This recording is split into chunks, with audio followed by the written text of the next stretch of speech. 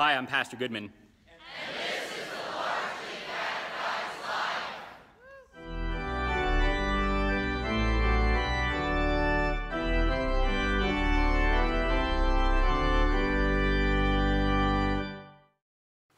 Last week, we talked about why trying to define baptism based upon the water instead of God's word is not a great idea. This week, um, we'll talk about why it, it's not a great idea to try and define baptism by the people who receive it. In fact, maybe even worse, because it makes baptism look even worse. See, here's the thing what we do then is disregard God's word, disregard his promises, and only recognize the fact that sinners sin. And that includes the ones who have been baptized. I mean, honestly, some of the biggest jerks I've ever met in my life were baptized. I'm, I'm baptized, but I'm still a sinner. And so, if all I want to do then is say, well, if baptism left you looking like that, it can't be all that impressive, that doesn't leave it with much.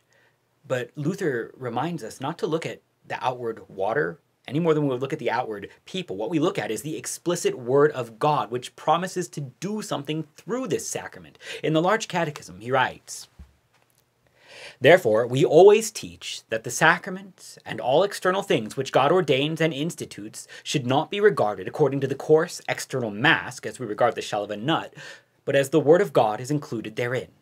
For thus we also speak of the parental estate and the civil government if we propose to regard them as far as they have noses, eyes, skin and hair, flesh and bones, they all look like Turks and heathen, and someone might start up and say, Why should I esteem them any more than others?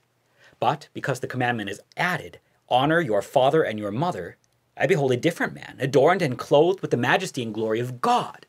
The commandment, I say, is the chain of gold about his neck, yea, the crown upon his head, which shows to me how and why one must honor this flesh and blood. So we don't look at the outward mask of the person who wears that water in baptism. We look at what God has promised to do for that person. If you want to measure baptism by whether or not the people who receive it are sinners, well, it's going to seem worthless because the only people who are supposed to get baptized are sinners. In fact, baptism works the forgiveness of sins. If you don't have sins, why would you get baptized? See, when we want to behold baptism by the outward mask, be it the water or the people wearing it, what we end up neglecting is God's word, which is promised to work through and for sinners. And the place where Luther connects this then is the other place where we have a real hard time recognizing that God works through and for sinners in the fourth commandment.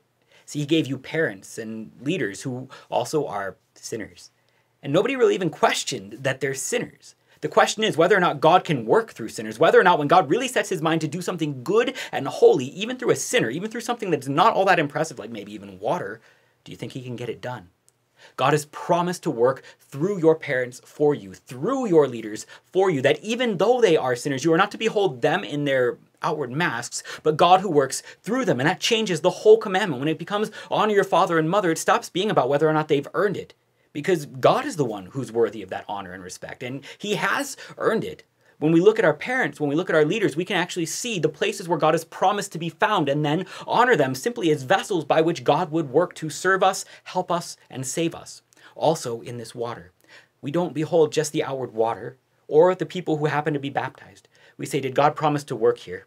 And that's exactly why God would stick his promise in that water, because it is so hard to see otherwise. And so I can say, not are they a nice person, but are they a baptized person? Has God promised to work forgiveness through them? Has God promised to work life through them? And there, there we can actually have something that we can hang on to, a promise that God would be found even here working for our good. And that, that makes baptism the most wonderful thing in the world. The greatest comfort that a Christian can have is simply knowing this. You don't have to measure me based on my works, but based on God's promise to forgive my sins and save me.